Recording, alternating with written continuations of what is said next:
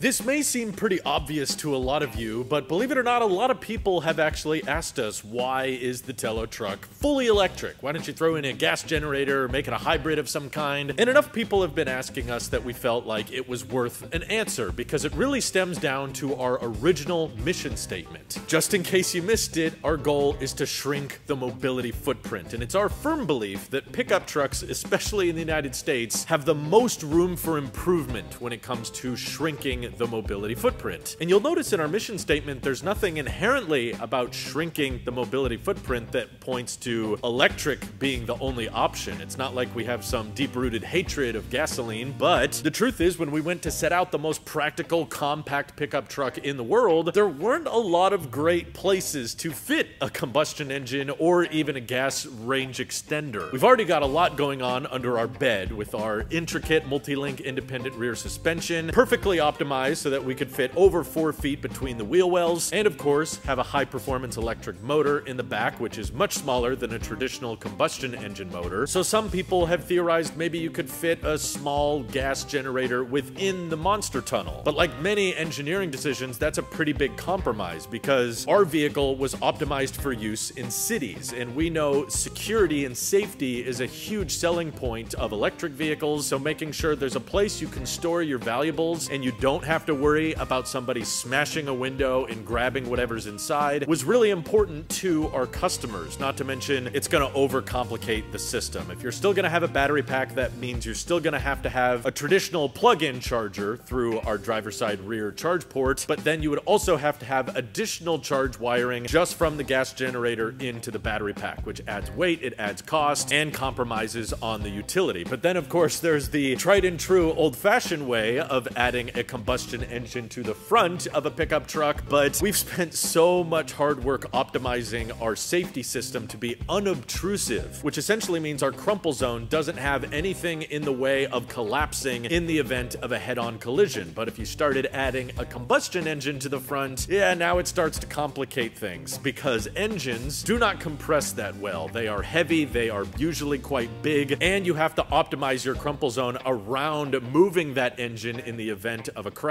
which essentially means our vehicle would have to get physically much, much larger, and then you probably wouldn't have a truck all that different from what already exists on the market today. And when starting a brand new company, we wanted to separate ourselves and fill a need that we felt was not being met in the automotive market. And we feel very strongly that, especially in major cities, there's a huge demand for utility focused vehicles that can be extremely practical, that have high range, all wheel drive, that can be quick, that can be fun to drive drive that also fit in really, really tight parking spaces. So adding more complexity, adding more cost, and adding more unnecessary mass to the front of our vehicle didn't feel like a good fit for our mission statement, especially once we realized how efficiently we could package our battery pack to unlock 350 miles of range, which is more than enough for a lot of EV buyers today. And with the growing availability of DC fast charging, we feel confident that the Telo truck is optimized and built for the future, which ideally ideally will require a lot less burning of fossil fuels, and of course still make the vehicle quite safe by having a low center of gravity and a lot cheaper to run. All of these gas generator or combustion engine additions people have asked for increase the cost of not just the vehicle up front, but also the operating expenses, which to our fleet buyers is immensely important. So making it a full electric vehicle, that means that it's far cheaper to own in the long run than a traditional gas pickup truck and even cheaper than existing electric electric pickup trucks because our frontal area is so low that we consume far less energy per mile than any other truck on the road today. And of course, the truck is still very easy to park, has amazing visibility because we don't have a giant hood in front of us. So to prioritize our mission statement, electric just so happened to be the best solution. But we appreciate your questions and suggestions, and please feel free to keep asking away, and we'll do our best to answer them all for you across our social channels. Stay tuned for more, and we hope to say hello again soon.